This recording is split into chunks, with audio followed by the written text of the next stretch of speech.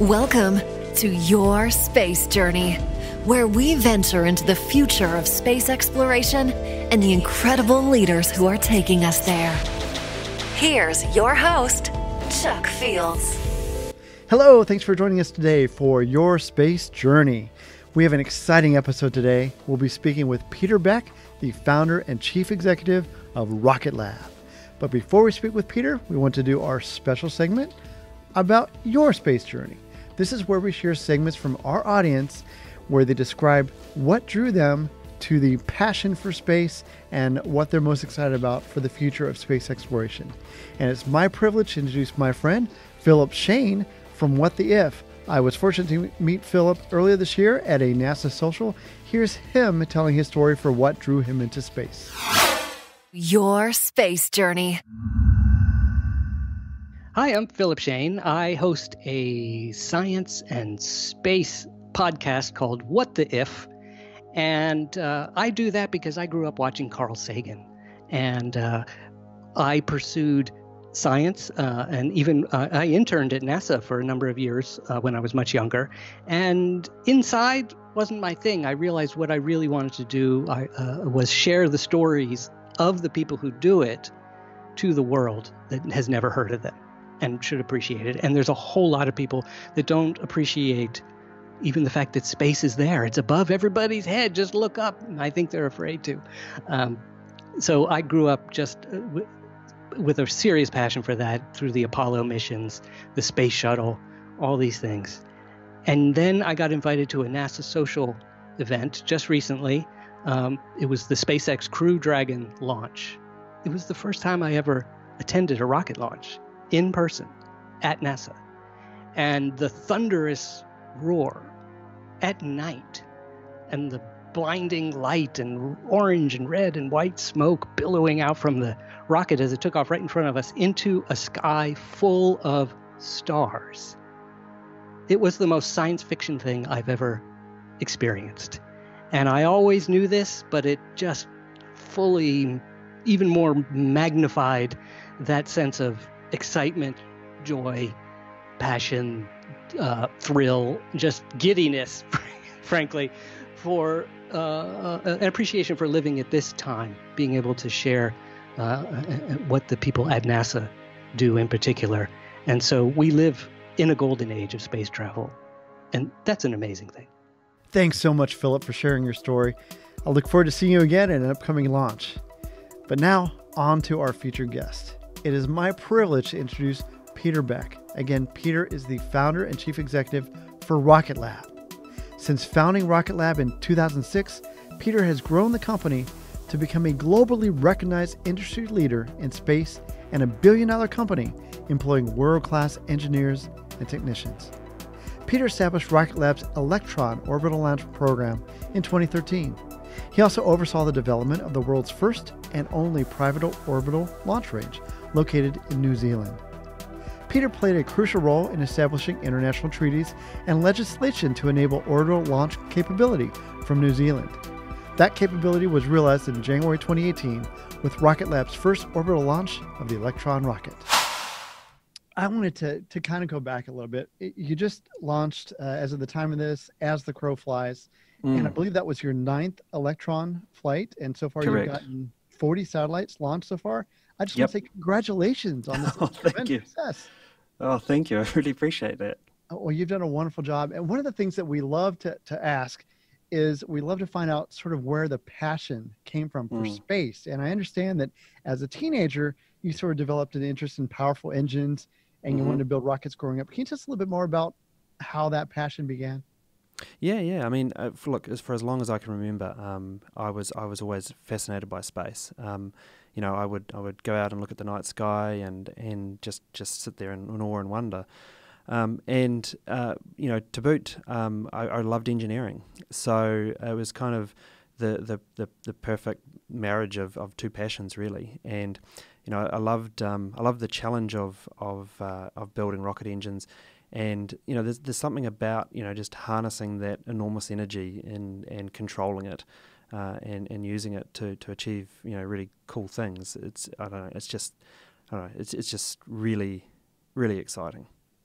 Well, I even heard that your high school counselor actually requested a meeting with your parents Mm. because they were concerned that your dream was of uh, launching rockets, building rockets was absurdly unachievable. Is that true? or Correct. No, that's yeah, no, that's that's that's absolutely correct. Yeah, um, there's a local aluminium smelter that was down the road, and I was very good with my hands, um, and so uh, you know the the normal normal kind of trajectory would have been um, to, to you know to go to that aluminium smelter and and uh, and be a tradesman, um, which which you know would have been a would have been a fine fine career, but just not something that uh, not something that I'm interested in in doing. There's obviously a lot of uh, young adults out there, and they have these um, dreams that some would consider crazy. What Mm. advice would you give to someone for not holding back, for going for their dream? What advice would you give? Oh, I, I think that's an absolute must. I mean, what's the worst that can happen? I mean, the worst that can happen is you go and get a real job. Um, so no, I, I think you know it's it's y- the bigger the dream, the better as well. Um, and um, yeah, I, I would just encourage anybody out there if they've got a true passion and, and something that they think they can then can pull off, then um, then just just go for it. And and there'll be plenty of people along the way that, that won't think the same way that you do. But at the end of the day, um, you know, what, what what have you got to lose? You got a very short time on this planet. Let's let's make it count. Oh, I couldn't agree with you more. Now let's talk Rocket Lab. Mm. Founded it in 2006. By the end of 2009, it became the first private company in the Southern Hemisphere to reach space. Hmm. Now, some of our audience might not be familiar with Rocket Lab, and I was just wondering if you could us a little bit more about what sets it apart from some of the others. Yeah, yeah. I mean, um, so I guess we were probably one of the early movers on, uh, you know, seeing that, that satellites were obviously going to shrink, and with a shrinking satellite, um, there would be a requirement for a, a launch vehicle that would um, that would be able to service and deploy those satellites. So we, we officially started the Electron program in, in 2014 um, and started raising capital out of Silicon Valley and, and, and various institutions um, to, to, to develop uh, the Electron launch vehicle. And it's a small launch vehicle that's designed to lift small payloads into orbit, but really frequently to a number of trajectories and inclinations and altans, and really kind of open up um, open up space for um, the small satellite, who are typically, you know, you know, historically at least, been been kind of second class citizens on uh, on very large launch vehicles, ride sharing at the time or the pace or the orbit that the main, you know, the, obviously the main spacecraft wants to be wants to go to. So think of us think of us as is like um, I really don't like using the same, but think of us like as as the Uber of space. So you have a very large bus, and that's fine if you want to jump on with a whole lot of folks and go somewhere. But if you just want to pick up your phone and get picked up to your door and dropped off at your door and, and comfort, then then that's that's really um, that's really where we, we we excel. That is a great analogy too. I love that. And, and one thing I also love too is just the mission names themselves. The Yeah, one- yeah. You know, as the crow flies, look ma no hands. My wife is in QA, so we loved it's a test, still testing. Yeah. It's business time. How, what led you and your team to develop such creative names for your missions? I love it. Well, I mean, look, this is an incredibly serious business where uh, there's just no room for any error. So this is about the one thing that you can actually just have a bit of fun with, um, and it kind of reflects the you know the, the, the nature of the team here. Is, is we work incredibly hard, but um, but also um, you know we, we like to have a little bit of fun now and again, and um, really that was that, that was kind of um, you know how we how we were going to express ourselves through the through, through the through the naming conventions. And you, you mentioned Electron, of course. Now I understand it's all carbon composite. Mm. Um, the Rutherford engine, if I understand right, is actually 3D printed. In about Correct. 24 hours per engine. Correct. Correct. You have revolutionized 3D printing. Can you tell us a bit more about that process and what led you to do this? Yeah, so for us, it's all about um, manufacturability. So we, we, you know, we created a number of new technologies not because we wanted to do something different. Um, it, we really looked for ways that we could solve big historical problems. Um, as you pointed out, it's an all carbon composite vehicle. We did that um, simply because we're able to produce the tanks and the structures at a, at a, at a cost, efficiency, and scale using those techniques that we couldn't with um, aluminum. And then, you know, the Rutherford engine, when we first announced the Rutherford engine, uh, you know, it was it was all 3D printed, electric turbo pumped, and uh, you know, I think there were a lot of people in the industry kind of looked at us sideways because that was that was at a time where you know that wasn't a very common thing to do. Um, so you know we've put over 90 of those engines uh, into space now, and um, you know the, the everybody 3D prints some or most of their rocket engine these days. Um, so uh, you know the, the, technology, you know we really uh, we really pushed the boundaries at the time, and um, we did that because um, you know there was no other way that we could produce engines at the quality, the performance, and the flight rate, other than uh, this this you know additive, manufacturing techniques. Can you tell us a little bit more about the kick stage? What I understand, and I'm sure you can put this in, in a lot uh, better wording than I can, mm. is that the kick stage helps um, achieve that exact orbital trajectory yep. that they need, uh, even more circular than elliptical. Can you tell us a little bit more about how that works?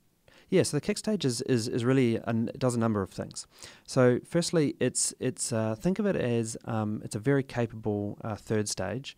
Um, it has its own propulsion system, its own communication system, uh, you know, its its own guidance system, and you, are exactly right. It, it enables us to insert to orbital accuracies which are almost unheard of within the industry. You know, some kilometers or sub kilometers of accuracy.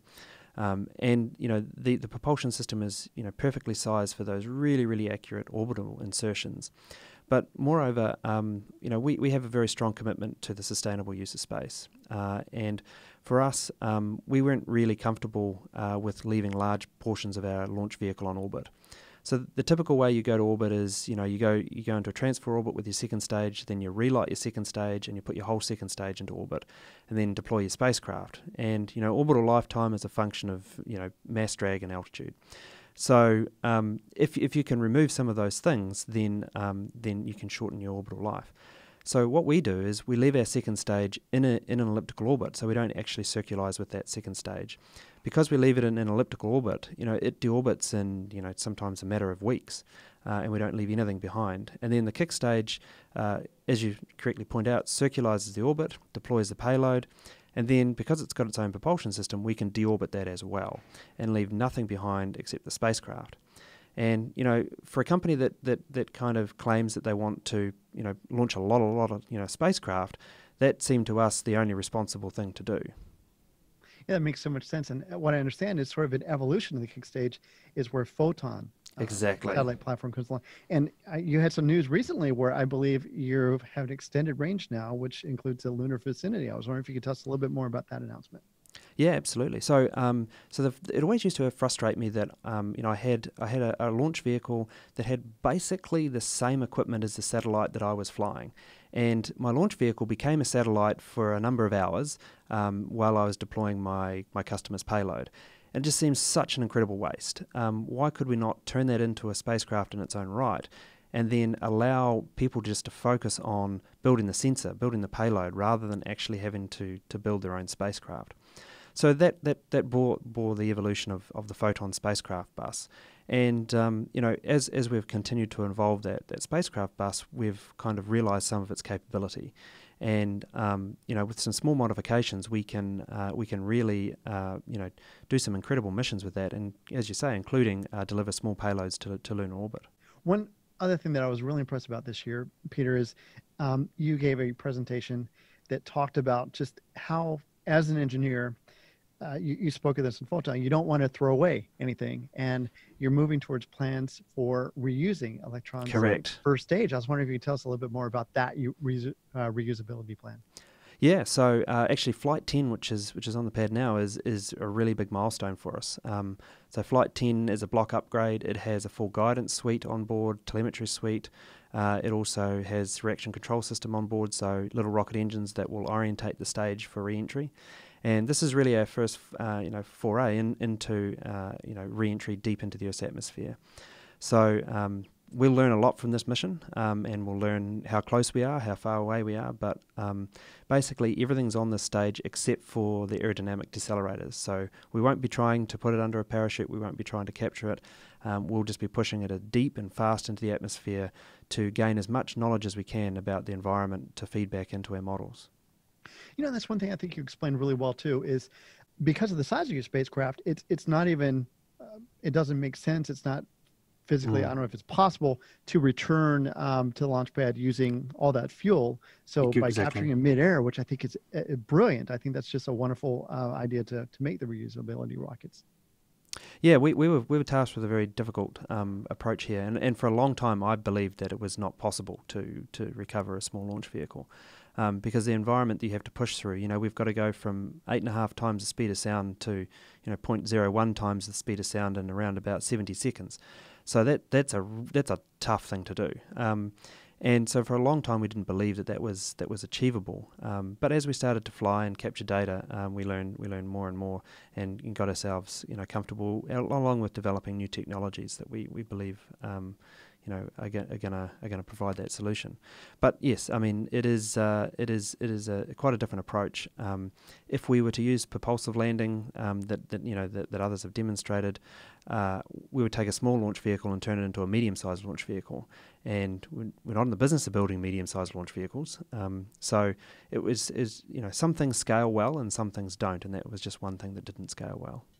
Well, that just makes so much sense, and I cannot wait uh, to see as, as that happens in the future. It's going to be incredible.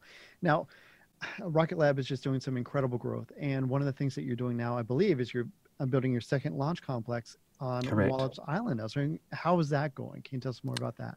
Well, look, this this is I think words fail me for how impressed I am at, at, at the team, both the Rocket Lab team, the Mars team, the Virginia team, at how quickly that launch site has come together. So, you know, we started driving piles in February, and it's going to be activated and certified for flight in December. Uh, and there's a lot of concrete and a lot of infrastructure that had to be built there. Um, so uh, I think I think we redefined how quickly you can build a launch site. Um, certainly know that um, uh, that that all, all the team uh, there in, in, in, Virginia have never seen something built been built so quickly. Uh, but you know, it's it's it's uh, it's a real testament to um, to a great collaboration that we're able to push that out of the ground that fast. Well, that's incredible. I've heard you say just how immense of a project that was. Uh, building a launch, it's no easy feat. It is. It is really not. It is. Yeah. People underestimate. I think people underestimate the ground infrastructure on launch a lot. It is. It is. It's. It's. It's like building a mini city in some respects. It's just crazy. Now, Peter, I, we're so excited for you on that. Given just space in general and how it's going, where do you see?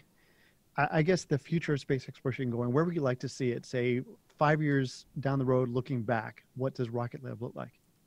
Yeah, I think the, the definition of success for us will be that um, we're flying incredibly frequently. Photon is a platform that is, is just a very prolific platform that, that enables you know a much lower barrier to entry to the market. So someone with a, a concept or an idea can just get on orbit and provide a service. I think if, if we can get to that point, then the world becomes a very different place. I think you know if space is truly opened up for um, you know commercial influence and and and government um, government you know needs, then I think um, I think everybody's life down on this on this planet is gonna gonna look vastly different. That's wonderful. Well, Peter, again, congratulations to you and your team. We're just so excited about the future for Rocket Lab. I want to thank you for taking time out of your busy schedule to join me today. Really appreciate it. Oh, it's an absolute pleasure. Thanks very much for your support. Your space journey. Wow, I really enjoyed my conversation with Peter today. Hope you did too. If you'd like to learn more about Rocket Lab, just go to their website at rocketlabusa.com. I want to thank Peter for joining us today. Also, want to thank Philip Shane for sharing his space story earlier in the episode. If you'd like to share your space story with us, less than two minutes, please, we would love it if you'd leave us a voicemail at 317 862 4700 or email us your audio or video clip at info at yourSpaceJourney.com. You can also help us by sharing this episode with a friend or rating us on your favorite podcast application, such as Apple Podcasts. Or if you're watching on YouTube, just give us a like and comment there too. We'd appreciate it. Thank you so much for taking time out of your busy schedule for joining us today. We'll see you next time. God bless.